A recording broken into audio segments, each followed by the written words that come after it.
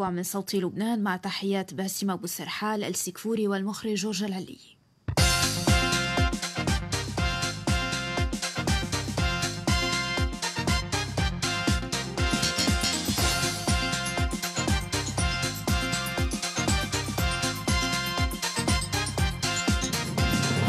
العناوين رسائل سياسية في العيد فهل حان وقت المثالثة أم المطلوب أكثر؟ دريان يحمل الحكومة والمصرف المركزي والجهاز المصرفي مسؤولية الأزمة المالية. نحن لا نقبل تهميش رئاسة الحكومة أو المس بصلاحيات رئيس الحكومة. وقبلان يطالب بإسقاط الصيغة الطائفية السياسية. ما قام به بشار الخوري ورياض الصلح مرحلة وانتهت. أسبوع ناشط حكوميا ونيابيا والتعيينات حاضرة بقوة. موسى لإذاعتنا حول ال capital control المطروح في جلسة الخميس. الهدف من هذا الموضوع هو عدم الاستنسابية بالمصاري. وزير الصحة ينفي فرض غرامة على من لا يضع كمامة. وفيات كورونا تتخطى حاجز 354 ألفاً.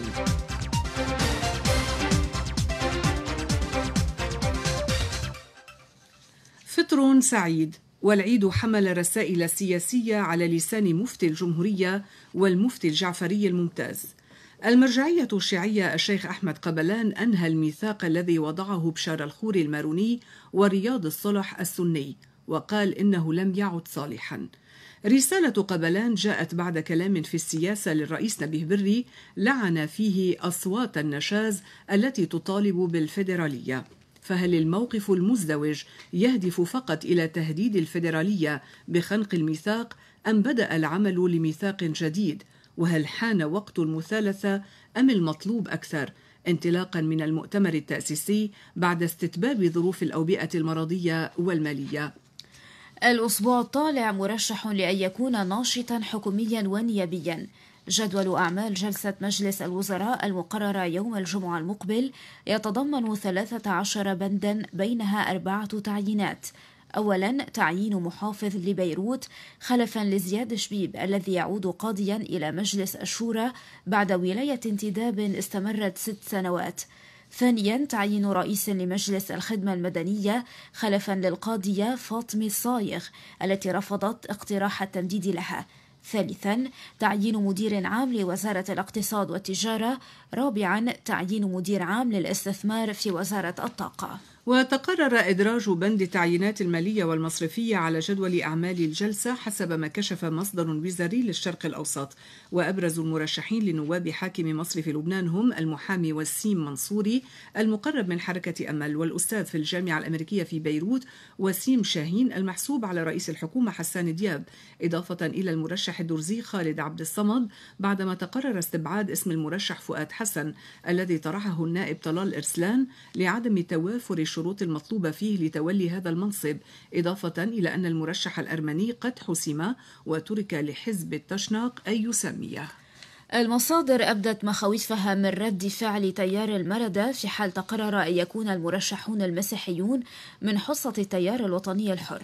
ورأت أن هناك إمكانية لاسترضاء النائب السابق سليمان فرنجي سواء من خلال الأخذ برأيه بالنسبة إلى اسم المرشح لتولي منصب مفوض الحكومة لدى المركزي أو أن يكون البديل في التعيينات الخاصة بالأسواق المالية أو بلجنة الرقابة على المصارف باعتبار أن التيار الوطني الحر يتمثل حكما في المجلس المركزي بمدير عام وزارة المال ألام بيفاني المحسوب عليه. وبالنسبة إلى لجنة الرقابة على المصارف فإن المشاورات لم تتوصل حتى الساعة إلى حسم المرشح السني لتولي رئاستها مع أن البعض يردد همسا أنه لا يستبعد إسنادها إلى نائب الحاكم السابق محمد بعصيري بذريعة أن تعيينه لا يشكل خرقا للتوافق على التمديد له لأنه لم يسبق أن شغل هذا المنصب إلا أن تداول اسم بعصيري ليس محسوما وإن كان هناك من يروج لاختياره من زاوية أنه يحظى بتأييد تأييد أممي إضافة إلى أن تعيينه يسترضي الولايات المتحدة لما لهذه اللجنة من دور في مكافحة تبييض الأموال ومن دور أيضا بتجفيف الموارد المالية للمجموعات الإرهابية. نيابيا أربعة اقتراحات قوانين باتت في مراحلها الأخيرة في مطبخ اللجان قبل إحالتها لإقرارها في جلسة عامة لمجلس النواب أبرزها. أولا اقتراح قانون مكافحة الفساد الذي أقرته اللجان المشتركة وأحيل إلى رئاسة المجلس. أبرز ما فيه رفع